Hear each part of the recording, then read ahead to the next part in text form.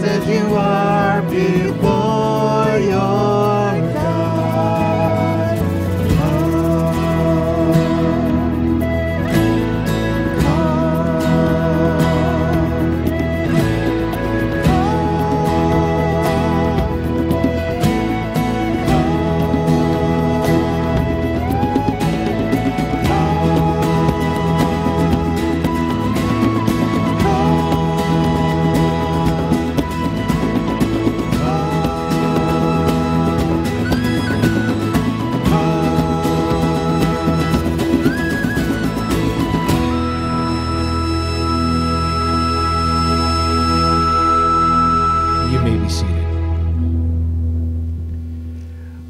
We gather together today to celebrate that now is the time to worship. Psalm 118 reminds us Give thanks to the Lord, for he is good. His love endures forever. The psalmist continues Shouts of joy and victory resound in the tents of the righteous. The Lord's right hand is lifted high. The Lord's right hand has done mighty things. I will proclaim what the Lord has done. Then he finishes with the words, Blessed is he who comes in the name of the Lord.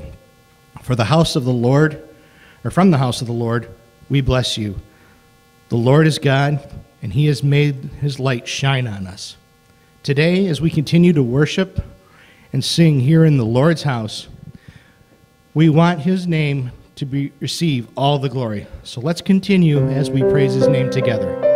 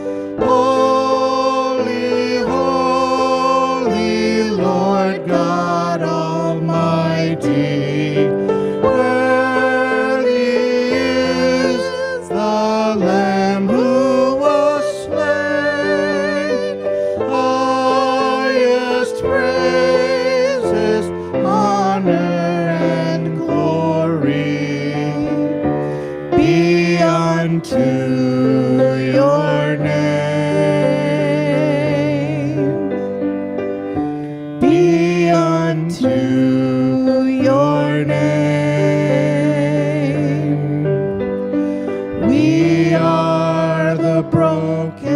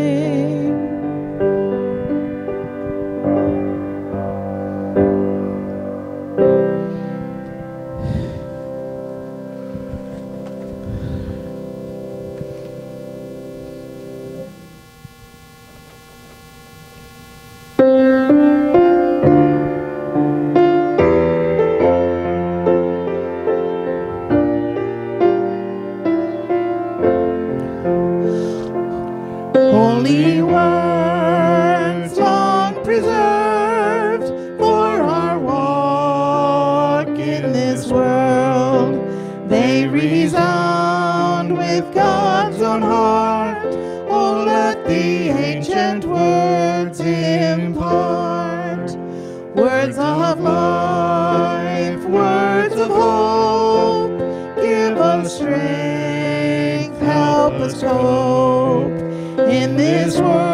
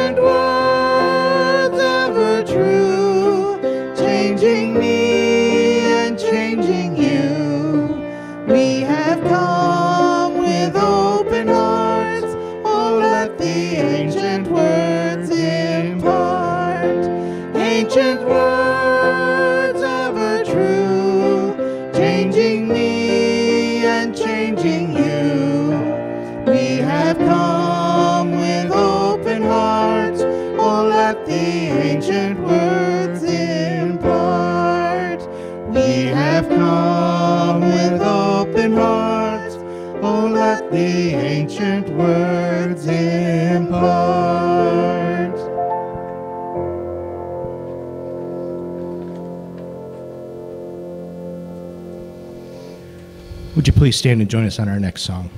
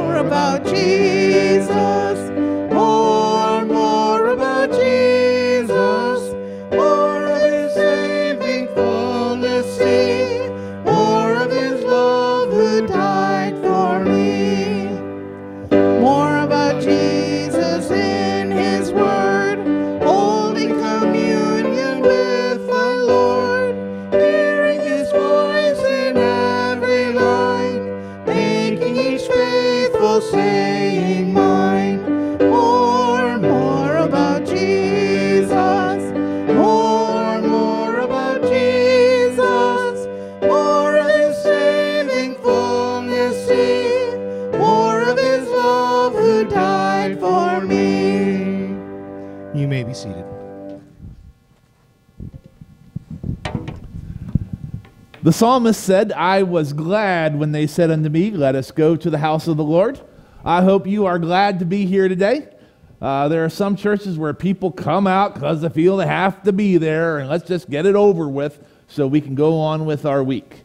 But as Christians who love the Lord and desire to praise Him, it should be a highlight of our week when we get to gather together and praise the Lord together and learn more about Him through His Word and rejoice and encourage one another and bless one another.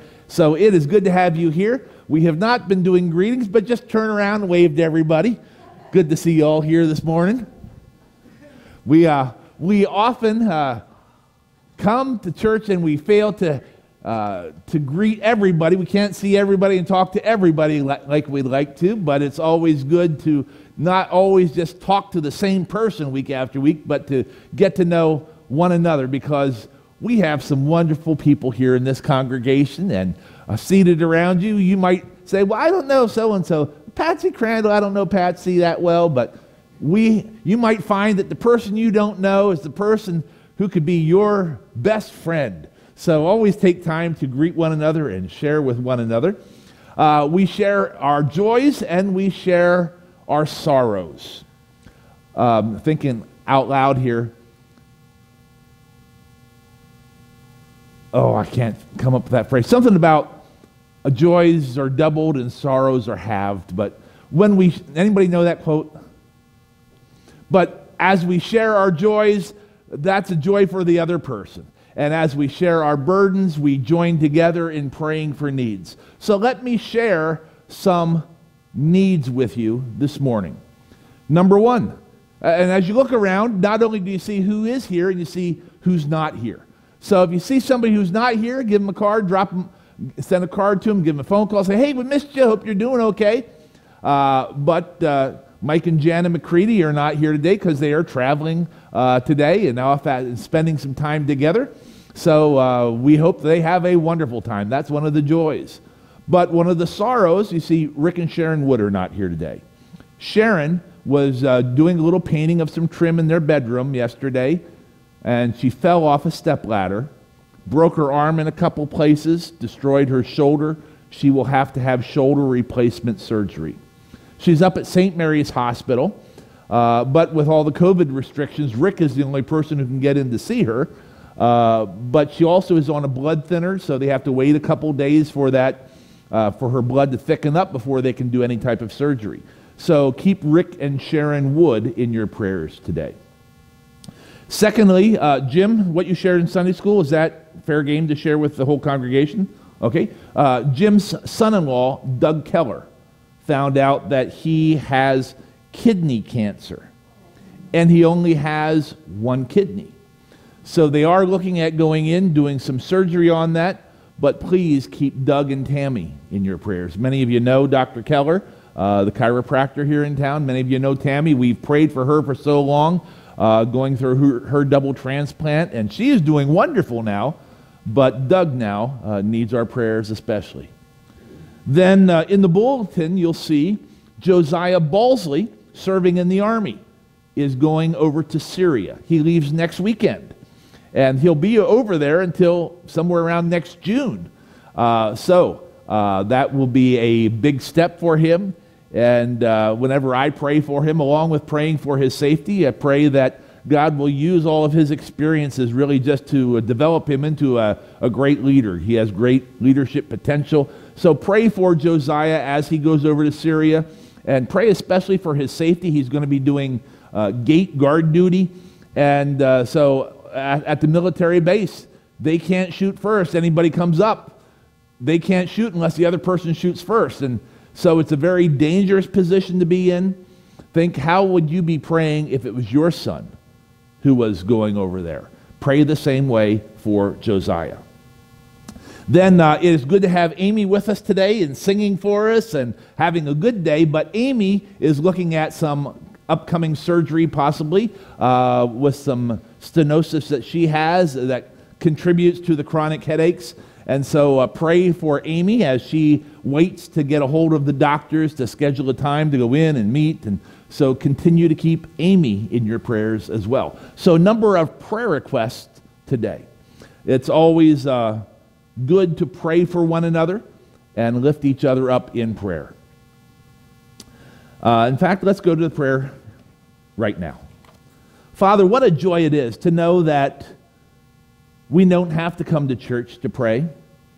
We don't have to go through a ritual, but we can just uh, pour out our hearts to you, use whatever words come to our mind. Sometimes we don't even use words, and uh, the Spirit just uh, speaks out. But Lord, today we share our hearts with these who are struggling right now.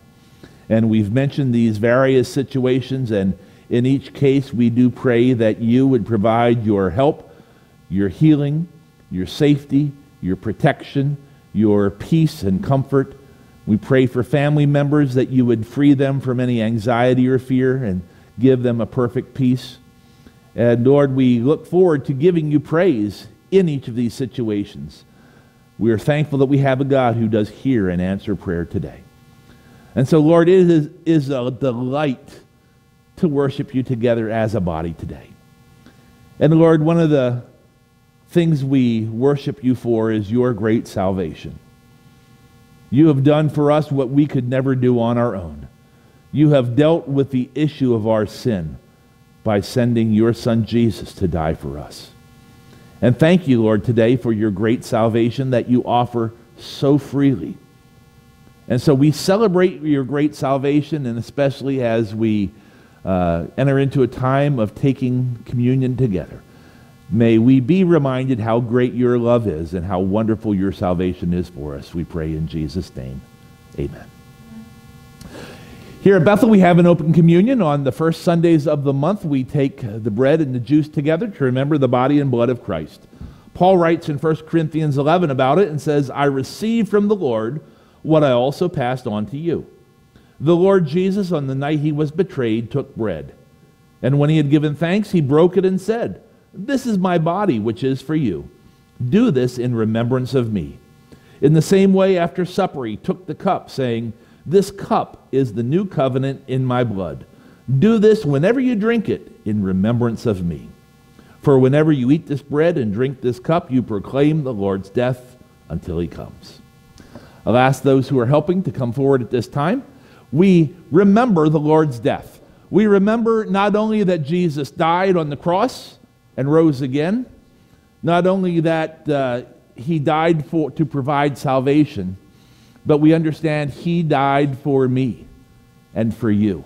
Each one of us is the reason why Jesus died on the cross.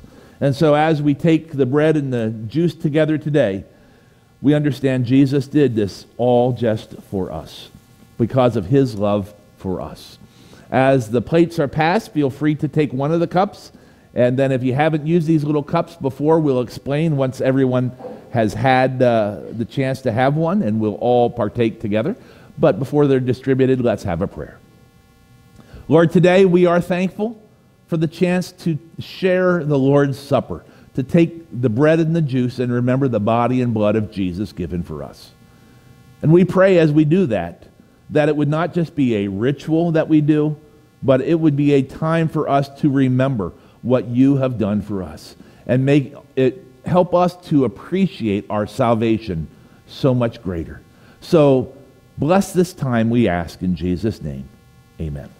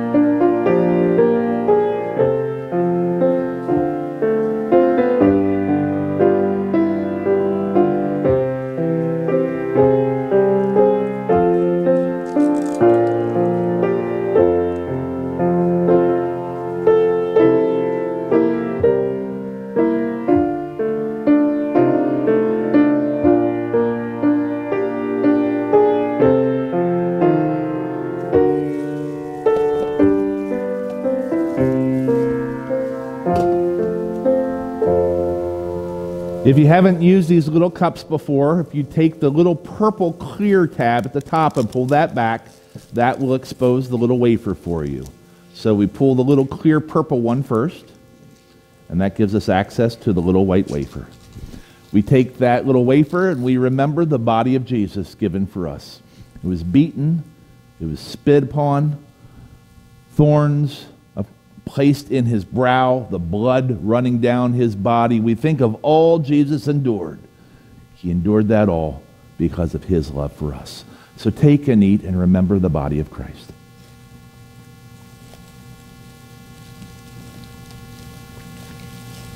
Father, we do remember today and we give you thanks for your son Jesus and his great sacrifice for us.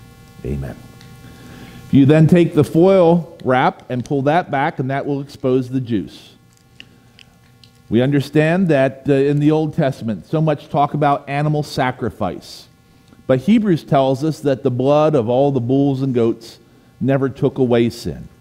It merely looked forward to the day when Jesus would come as the Lamb of God who takes away the sin of the world.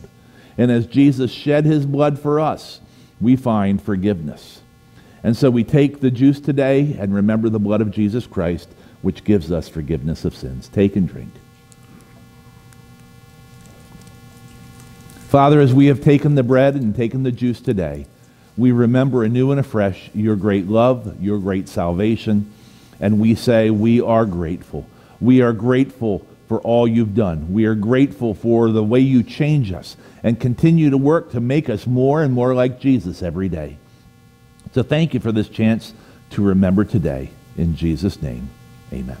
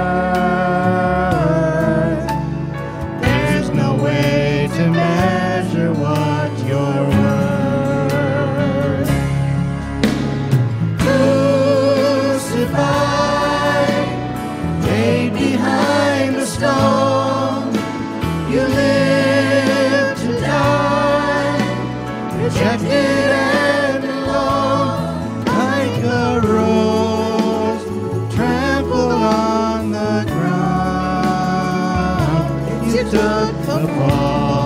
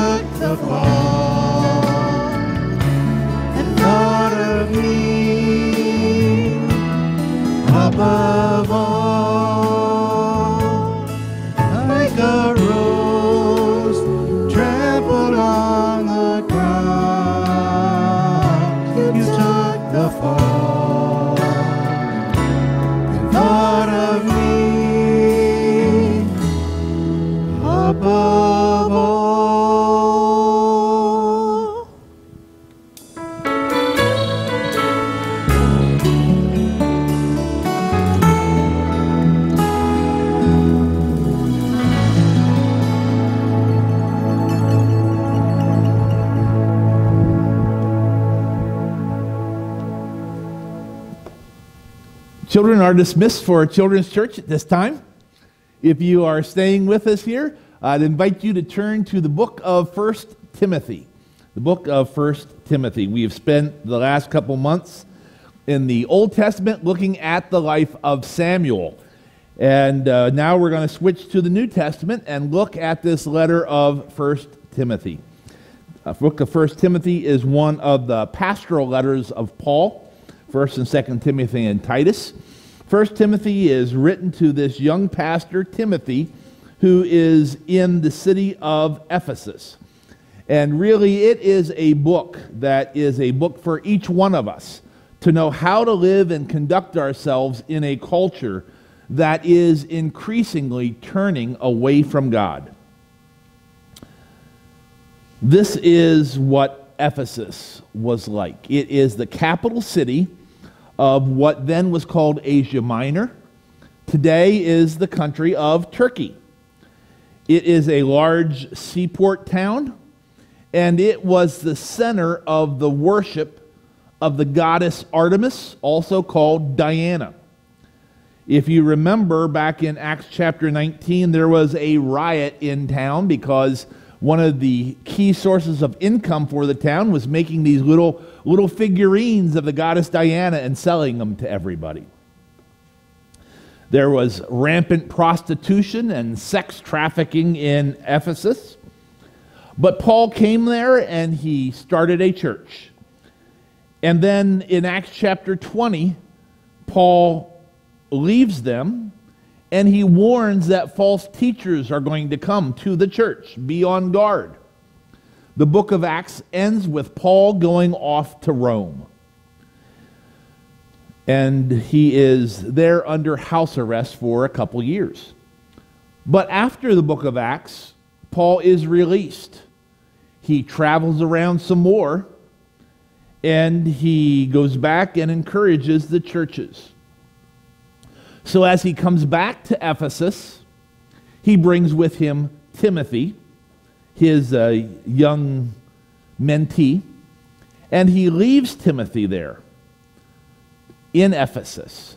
Paul continues on. He ends up being imprisoned in Rome a second time in the Mamertine prison, and he ends up then dying there in Rome. Tradition tells us he is beheaded in Rome. So, Timothy, this young man, is left at Ephesus. Because he's a young man, sometimes people don't respect him the way that they should. Timothy, Timothy is timid and he's shy. You might say he's a mama's boy. Uh, we read about his mother and grandmother, but no father in the picture. He is sometimes sickly or at least so troubled by problems that he has stomach problems. And the tension in the church at Ephesus has him to the point of wanting to give up. It's easy to happen, especially for young pastors, because people can say such encouraging things. A pastor can prepare so diligently for the sermon, and on the way out, people will say things like, Well, Pastor, you always manage to find something to say and fill up the time, don't you? Or they'll say, I don't care what everyone else says, I think your sermon's pretty good. or to say, Pastor, if I'd known you were going to be this good today, I would have invited somebody along with me. So Timothy had had it at Ephesus. He was ready to quit. And Paul gives him this letter to encourage Timothy and to remind Timothy and us how the church of God should be managed. In uh, looking at an overview of the book, we might use this outline. Chapter 1, we must preach truthfully. Chapter 2, we must pray fervently. Chapter 3, we must live diligently. Chapter 4, we must persevere constantly. Chapter 5, we must relate properly and personally. And chapter 6, we must pursue righteous endlessly. Or put another way, we need a right focus on the church's doctrine, worship, leadership, moral behavior, social responsibilities, and attitudes toward possessions. So that's what we're going to look at in the chapters ahead. But today we are on chapter 1. So let's look at the first few verses of 1 Timothy 1 together. It says, Paul, an apostle of Christ Jesus, by the command of God our Savior, and of Christ Jesus our hope, to Timothy, my true son in the faith, grace, mercy, and peace from God the Father and Christ Jesus our Lord. As I urged you when I went into Macedonia, stay there in Ephesus, so that you may command certain men not to teach false doctrines any longer, nor to devote themselves to myths and endless genealogies. These promote controversies rather than God's work, which is by faith. Let's pray together. Father, as we come to your word today, we pray that you would turn the light on for us. Give us insight into the lessons that Paul gives to Timothy, and help us, Lord, to be able to take your truth and apply it to the situation we live in here today. So teach us from your word, we ask, in Jesus' name. Amen.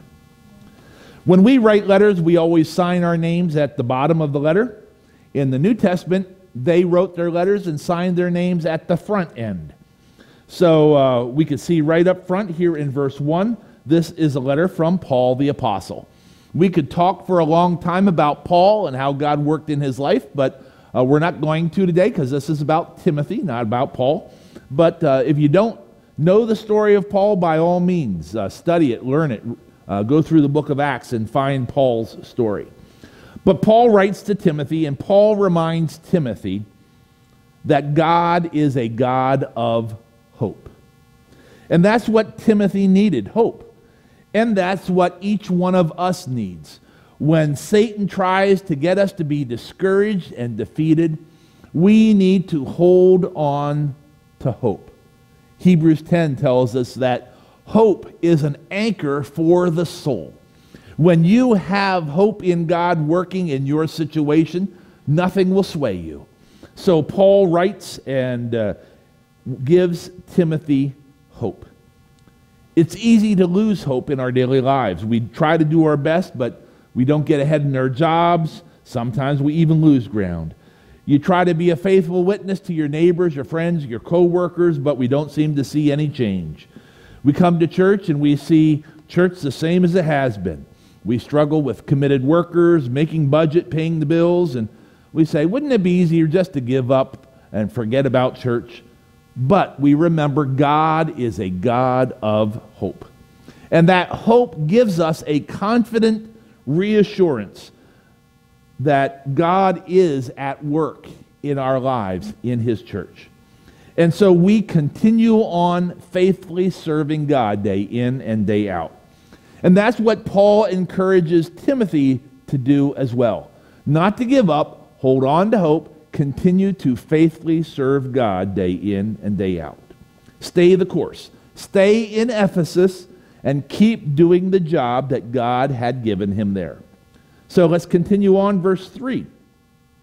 As I urged you when I went into Macedonia, stay there in Ephesus so you may command certain men not to teach false doctrines any longer, nor to devote themselves to myths and endless genealogies.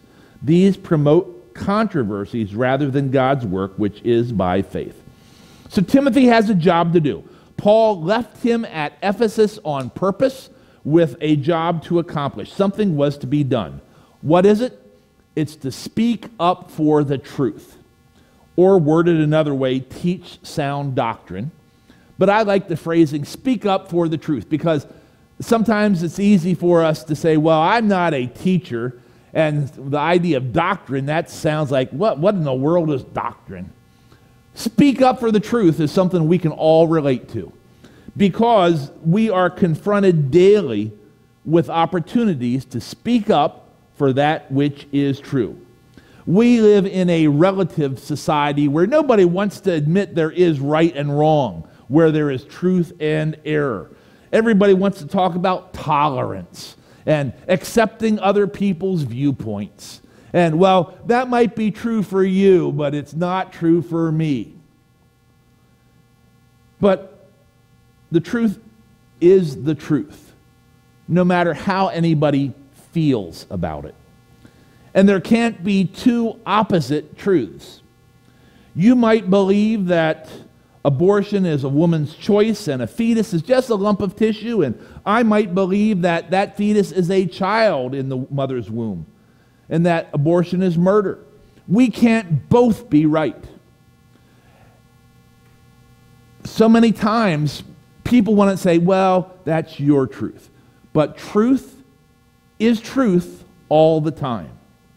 I don't know if you saw the exchange this past week with Representative Marjorie Taylor Greene from Georgia and Representative Debbie Dingell from Michigan, but conflict over the question of abortion.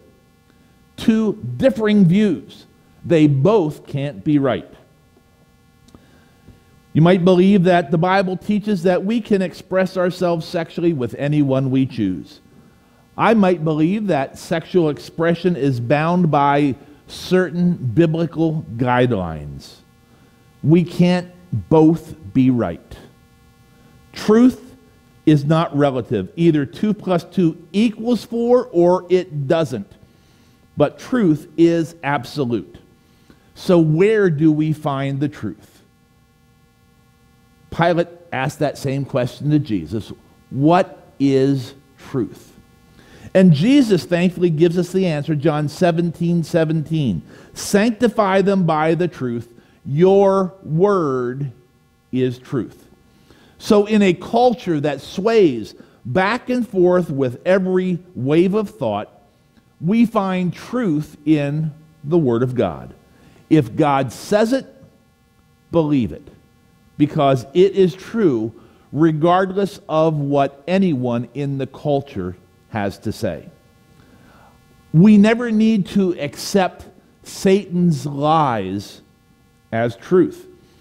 Even when it is politically incorrect, we need to speak up for the truth, speak up for what is right. Even when everyone goes against you at work or in your neighborhood or at your family gatherings, never be afraid to stand up for truth. That's what Paul commands Timothy. There is a truth that needs to be maintained. So Timothy's job is to make sure that the church does not drift away into false teaching. Paul says in verse 3 that Timothy is to command certain men to not teach false doctrines any longer. This term command is the idea of passing on orders from a superior officer. It is a military term. The general gives orders to the corporal, who passes them down to the sergeant, who then passes on the orders to the privates. The commands are passed on down the line. Paul receives truth from Christ, and Paul passes it on to Timothy, who is supposed to pass that truth on to the church at Ephesus. Over in 2 Timothy 2, uh, Paul gives that similar idea again. He says, And the things you have heard me say in the presence of many witnesses, and trust to reliable men who will also be qualified to teach others. So, when we come out to church and we hear the Word of God taught, Understand, I'm not seeking to share my ideas with you. My role is just to pass on what God has already t- declared in His Word. The truth is God's truth. And I simply try to help you understand what God has already said. Timothy's charge was to get false teachers to get back to the gospel, back to the truth. Paul tells Timothy in 2 Timothy 4 preach the word. For the time will come when men will not put up with sound doctrine. Instead, to suit their own desires, they will gather around them a great number of teachers to say what their itching ears want to hear. They will turn their ears away from the truth and turn aside to myths. Reality is that there are many people who don't like truth as much as they want to hear something that's new, that's exciting, that's interesting. Well, I never heard that before. Isn't that great? We need to make sure that our desire is not just for something that sounds good, that sounds acceptable, that sounds pleasing to hear, but that we always focus on what is truth. Paul told Timothy he had the job to do teach sound doctrine and stop false teaching. We often don't like doctrine because we think it's boring. Few people want to study the attributes of God or the consequences of sin.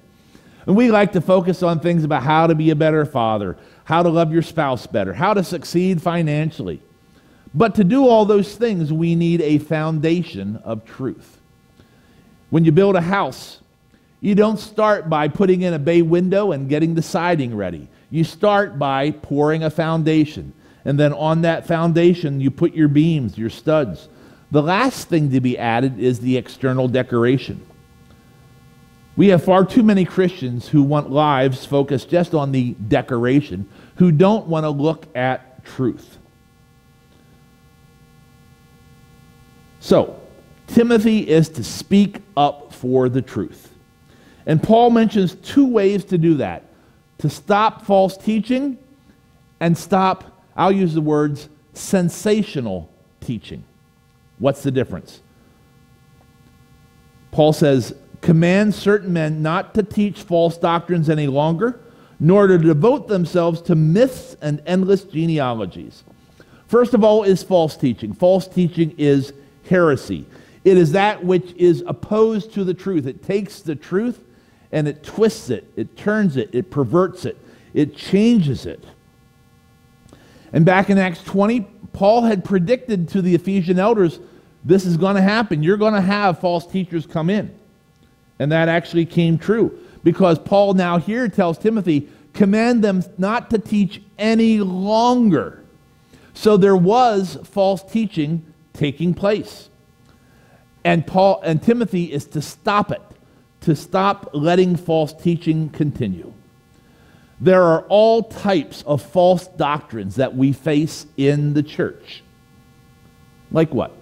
Well, right up the road, we've got this beautiful brick church, the Church of Jesus Christ of Latter day Saints. Well, that sounds wonderful, doesn't it? We, we follow Jesus in these latter days. Uh, are they a great church? No, they're not, because there is false teaching there. That church, also known as the Mormon church, if you look at what they believe, when Mormons come to your door, you probably all had them come to your door and they say, Wouldn't you love to have your family all get along? Wouldn't you love to have the day when we can just all have peace in our society? Well, that'd be wonderful. But what they don't tell you is the foundational truth. The, the Mormon church teaches that you can become a God. Populate your own universe with your spirit wives and your spirit children. See, well, that's not in the Bible. No, it's not. It's heresy. It goes against what the Bible teaches. They also teach, well, you know, Jesus and Satan, they were brothers. Where do you come up with that?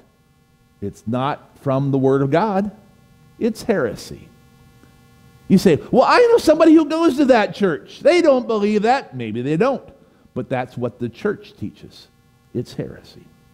Right down the street's another church, United Pentecostal Church. Say, well, doesn't that look like a great place for Christians to go and worship? But understand that the United Pentecostal denomination doesn't believe in the Trinity. They don't believe that God exists in three persons as Father, Son, and Holy Spirit. They say, well, you know, when, Jesus, when God does one thing, we call him Father. When he does another thing, we call him the Son. And when he does another, they're just names, different names, but only one God. Say, but when Jesus is baptized, the Father is speaking from heaven and the Holy Spirit's there like a dove. Say, just different names? Heresy. False teaching. Go a little bit further down the street, down by Emerson, you got this little building that's there, the uh, Kingdom Hall of Jehovah's Witnesses. Well, does, doesn't that sound great? We should all be a witness for Jehovah. But they call themselves that because they believe that Jesus is not God. Oh, oh yeah, Jesus is God. He's just a lesser God. Only Jehovah is God. Jesus, he's a lesser God. But somehow that overlooks Jesus' statement in the scriptures where he says, I and the Father are one. There is false teaching all around us. And we need to be on guard because sometimes false teaching sounds so good. And it's so easy to listen to somebody who's such a smooth talker, and what they say sounds good, and they slip in a little bit of false teaching. And we need to be on guard. But then there is another diversion from the truth that Timothy is told to watch out for. Heresy, yes, but heresy, that which is contrary to Scripture. But then what I call sensational teaching, that which goes beyond Scripture, is things that Scripture never talks about. For the Jews, uh, there were many J- stories in Jewish tradition about things that happened outside of what the Bible records and stories about certain angels and their exploits. And, well, did you know that there's this angel so and so and he did this and that and the other? And it's not, not found. So you can't say it's heresy because the Bible doesn't even talk about it. But it's all these made up stories that they have. They made up genealogies of heroes and taught special tales that were not biblical. So, how does that play out today? We have all types of sensational stories that come to us. Uh, if you've ever been on the internet and browsed around, did you ever see this, the pictures of the massive giant skeletons that people have found? You see, wow, look at that little guy in the light blue, and if he's six foot tall, how big must that giant have been? Say, don't you believe in giants, Pastor? Yes, I do. But the problem is, these pictures that you find are hoaxes, they are photoshopped pictures. So much of this speculative teaching does exactly what Paul says in verse 4 they promote controversies rather than God's work.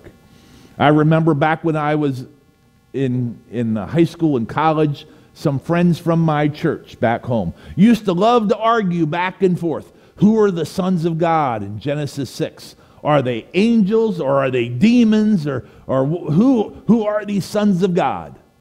You're not familiar with that passage, look it up and you'll probably have some questions. But the reality is that we end up often dreaming up crazy biblical interpretations because things sound sensational and we like something that sounds sensational. Don't let yourself fall prey into believing something because it sounds exciting. I remember once I got an email about an archaeologist who claimed to find the chariots of Pharaoh in the Red Sea. Could that be true?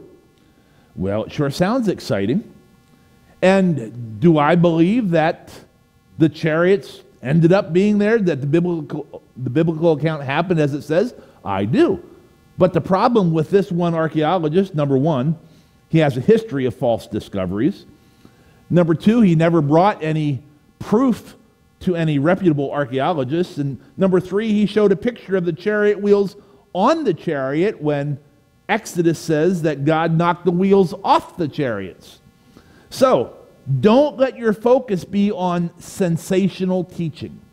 There's a lot of false teachers. Oh, they've got something that sounds exciting, it sounds sensational. Don't let that be your focus. Instead, focus on the truth of the Word of God. So, Timothy is to speak up for the truth. When it comes to false teaching, let me offer a couple principles for you to think about. Number one, base doctrine on the literal statements of the Bible, not figurative portions. Don't go to the book of Song, Song of Solomon to make up your theology, your ideas about God. Number two, base doctrine on the plain statements of the Bible, not obscure ones. Base doctrine on the teaching passages, not historical poetry passages. Base doctrine on all relevant passages. Don't just pull out one phrase or one verse and say, well, here's my idea because this phrase says such and so. Don't base doctrine on speculations or guesses. So many people look at a, a phrase and say, I think it means this emphasize what Scripture emphasizes. And speaking of emphasizing what the Scripture emphasizes, look down in verse 7. Paul alludes to the fact that they were using the law wrongly. He says, They want to be teachers of the law, but they do not know what they are talking about or what they so confidently affirm. So there were those at Ephesus who were taking the Old Testament law, uh, the the books of the Old Testament Genesis, Exodus, Leviticus, Numbers, Deuteronomy, all the hundreds of rules and regulations in there, and they were twisting it to serve their purposes. The Pharisees, the religious leaders in Jesus' day, were experts at that. They would try to find their righteousness because they kept all the law meticulously. But the Ten Commandments never saved anyone. In fact, the only thing that the Ten Commandments and all the rest of all those hundreds of laws and regulations did is to damn people. The Old Testament law does not save us, rather, it condemns us. It shows us that none of us is perfect, that we are all sinners. Paul makes that clear in Romans chapter 3, verse 20. For no one can ever be made right in God's sight by doing what his law commands. For the more we know God's law, the clearer it becomes that we aren't obeying it. So the law shows us that we don't do right. But now God has shown us a different way of being right in his sight, not by obeying the law, but by the way promised in the scriptures long ago. We are made right in God's sight when we trust in Jesus Christ to take away our sins. And we can all be saved in this same way, no matter who we are or what we have done. And so that leads to a second thing Paul goes on to remind Timothy is his task at Ephesus. First of all, he needs to speak up for the truth. Secondly, he needs to preach the gospel. When you talk about the truth, what is the, the emphasis? What's the main thing? Preach the gospel. Far too often we get caught up with rabbit trails. You want to go talk to a friend or a relative or a neighbor, and you want to go talk to him about the Lord and say, Well, where did Cain get his wife? And suddenly you've taken your focus off the gospel and the need of salvation to some rabbit trail that will take you far from the point. One of the best things you can do is say to a person, Well, we'll get to that, but let's stay right now on the main point we're talking about. Let's talk about Jesus. Let's talk about salvation. Stay on track. Keep your focus on the gospel. The word gospel literally means good news. And the good news is that we can find salvation, be saved from the penalty of our sins through faith in what Jesus Christ has done for us. The Old Testament law made no one righteous, rather, it condemned everyone but it does get us to see our sinfulness so we can need, see our need of a Savior. In fact, one of the best ways to keep people on track and to share the gospel with them is to use the Old Testament laws. You know, it's fine to say, well, God loves you, has a wonderful plan for your life, but you can also ask people, did you ever tell a lie? Well, you're a liar. Did you ever hate anyone? Well, you're a murderer. Did you ever have a lustful thought? Well, you're an adulterer. So, if you're a lying, murdering adulterer, you need salvation. The Old Testament law shows us our sin, shows us we need salvation. So many people think, well, they're, they're good enough because, well, I try to follow the Ten Commandments. But if you try, the truth is you're not following them. You fail. And because we cannot keep them, we see we are all sinners and we all need Christ's salvation. So, as Paul focuses Timothy on preaching the gospel, Paul then thinks about himself and he shares the power of the gospel by sharing his personal testimony of what the gospel did for him. Look down at verse 13. Paul continues on and says, Even though I was once a blasphemer and a persecutor and a violent man, I was shown mercy because I acted in ignorance and unbelief. The grace of our Lord was poured out on me abundantly, along with the faith and love that are in Christ Jesus. Here is a trustworthy saying that deserves full acceptance Christ Jesus came into the world to save sinners, of whom I am the worst. Paul was a blasphemer, he was violent, he was unbelieving, he was as bad as they get, the chief of sinners. But he was changed by the power of the gospel. Our first thought is to try to justify Paul. Well, he wasn't really that bad. I'm sure there were worse people out there. But that's just a rabbit trail that takes us off the main point. We preach the gospel because it is the gospel alone that has the power to convert even the worst of sinners. Romans 1:16 says, "I am not ashamed of the gospel because it is the power of God for the salvation of everyone who believes, first for the Jew, then for the Gentile." So, lest we ever forget, the power of the gospel can change even the worst person you know. You say, Oh, you don't know my brother in law or my neighbor or my boss. Doesn't matter how bad they are, no one is too far gone. There's no one who cannot be saved by the power of Christ. And when we choose to place our faith in Christ and receive his salvation, 2 Corinthians 5:17 tells us, if anyone is in Christ, he is a new creation. The old has gone, the new has come. When we follow Christ, our whole life changes. So, our charge is to preach the gospel. It wasn't just a charge for Timothy, it's a charge for each one of us. In fact, the last thing Jesus leaves with his disciples, Matthew 28 19 and 20, we call it the Great Commission. A commission for every Christian. Therefore, go make disciples of all nations baptizing them in the name of the Father and of the Son and of the Holy Spirit, teaching them to obey everything I have commanded you, and surely I am with you always to the very end of the age. So, this is a charge for each one of us, so we need to ask ourselves who can I share the good news with? Each one of us should be thinking, who is it that we can share the gospel with? This good news that God loves us, has provided salvation from our sins think, well, we could just start this door to door program and just go knocking every door around. Well, that would be fine, but the truth is, we would be so much more effective if each one of us would just think about cultivating one relationship and how we could reach out to that one person and share our personal testimony of what God has done for us. Really, that is the most powerful witness, one which no one can refuse, refute Simply to say, hey, let me tell you what God has done in my life, and go on to share how God has changed you. So when you look at your life, what opportunities has God given you to share the gospel? So we have to look at the question how do we live a godly life in a secular culture? And the first thing we need to understand is that we need to be willing to engage the culture to stand, stand for what is right, to speak up for truth, confront false teaching, and to preach the gospel, to share the gospel with others. We don't have to be afraid about getting into discussions about any of a number of hot topics. Rather, we can rely on what the Word of God says.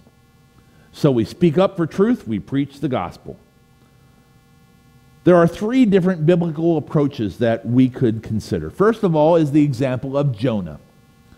Jonah is sent to Nineveh to declare God's judgment. And the people repent, and God chooses to have compassion on them. But Jonah sits up on a hillside looking over the city, waiting for judgment to fall. It is the example of condemnation. And sadly, there are some Christians who just want God to get all those sinners and bring his judgment. But that is wrong because that does not model the heart of God, who is not willing that any perish, but that all come to the knowledge of the truth. The second example is the example of Esther, who is a Jew in a Persian society. She knows the truth when all around her are blinded by lies, but she hides her identity. She has adopted the pattern of accommodation. And sadly, there are many Christians who follow that example who just want to fit in. They just want to blend in with the crowd. They don't want to create any problems. They don't want to stand out. They just want to blend in with everyone else. But the third example, and the best example, is the example of Daniel. Daniel has adopted a pattern of transformation. He's in a pagan society, but he is not impacted by it. He stands for his convictions when everyone else is doing the opposite thing, even when his life is on the line. He stands for what is true. He seeks the good of his culture and the good of the people of God at the same time. So, in our society today, we want to be transformational Christians. We don't want to isolate ourselves and just say, well, we're going to love God and hopefully God's going to wipe them all out. We don't want to just accommodate and say, let's just fit in and all go along with everybody else. We want to stand for truth, but love those who do not follow the truth and share the gospel so that they also can turn to Christ. But then in closing, there's one more call to Timothy we see here in chapter 1, which is to keep the faith. Or put another way, don't make shipwreck of the faith. When we think about famous ships, many times the ships that come to mind are the ones that have wrecked the Titanic, the Lusitania, the Arizona, the Edmund Fitzgerald. All are famous for sinking. Sadly, there are many Christians whose notoriety comes from their sin, from the scandals, from their shipwreck. Jim Bakker, Jimmy Swaggart, Ted Haggard. Just mentioning their name, you think of the scandals that occurred. Paul warns Timothy down in verse 18 not to make a shipwreck of his life. He says, Timothy, my son, I give you this instruction in keeping with the prophecies once made about you, so that by following them you may fight the good fight, holding on to faith and a good conscience. Some have rejected these and so have shipwrecked their faith. Among them are Hymenaeus and Alexander, whom I have handed over to Satan to be taught not to blaspheme. So, to keep from making a spiritual shipwreck of our lives, what do we do? Let me just quickly mention three things. Number one, follow the word. Paul mentions the term instruction here. Many times we make a shipwreck when we go off thinking up ideas that sure sound good, but they aren't biblical. To keep from shipwreck, we need to study the word of God. Paul writes in 2 Timothy 2:15, "Do your best to present yourself to God as one approved, a workman who does not need to be ashamed and who correctly handles the word of truth. So, number one, we uh, handle the word of God accurately. Number two, fulfill your potential. Paul talks to Timothy about prophecies that were made about him. Leaders of the church saw great potential in Timothy and encouraged him in ministry. Over in chapter 4, Paul says, Do not neglect your gift, which was given you through a prophetic message when the body of elders laid their hands on you. So Timothy had a gift. Paul says, use your gift. Don't stop using it. One of the greatest attacks of Satan against us is apathy, complacency. He doesn't need to go out to have us go out and commit some terrible sin. He just wants us to stay out of his way. And sadly, there are many Christians who have become complacent. God has gifted them greatly, but they don't use those gifts in serving God. Makes us ask the question Am I active in serving the Lord? And then, thirdly, finish faithfully. Far too many Christians start out well, but they give up the race. They get tired. They no longer feel the excitement of ministry. They become preoccupied with other things. Timothy is reminded to hold on to two things faith and a good conscience. Have a commitment to the word and have a commitment to doing what you know is right. So we need to defend against attacks on our faith, but we also need to stand up for doing what we know is the right thing to do. To finish well, we need constant communication with our God. And that's what we're going to see next week as we move on to chapter 2 and talk about prayer. So, in closing today, look at your life and ask the question God, how can I do a better job of following you faithfully? Let's speak up for truth. Let's preach the gospel. Let's keep the faith. Let's pray. Lord, your lessons to Timothy are lessons that we need to learn as well. To speak up for what is truth, because we have a culture that wants to twist the truth in so many ways. And help us, Lord, not to just get into side arguments, but always zero in on that which is important to preach the gospel. To use the law to show others that we are all sinners, we all need salvation. And then, Lord, help us to hold on to faith, not to make shipwreck of our lives, but to faithfully follow you day after day, year after year.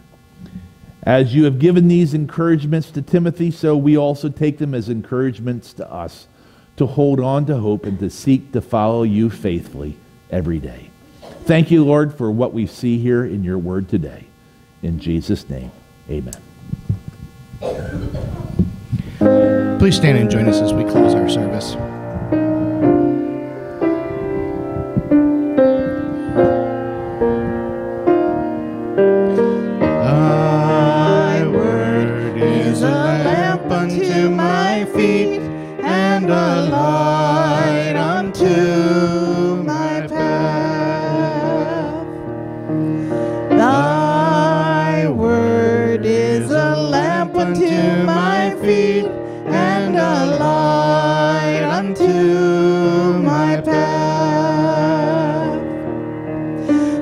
when I feel afraid, think I've lost my way. Still, you're there right beside me.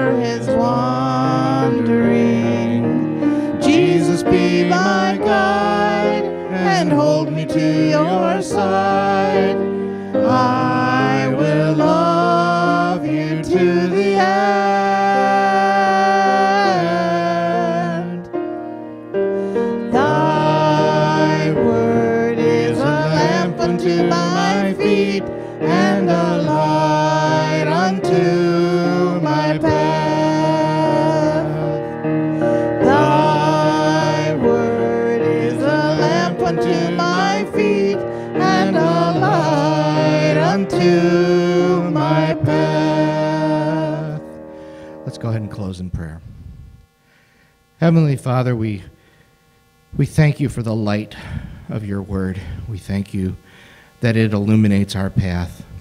Lord, be with us this week as we go out to share that light with the world, as we share the truth in love, and as we seek intentional relationships with those around us. And we ask, Lord, that you bring us back safely again next week. In your name we pray. Amen. And you are dismissed.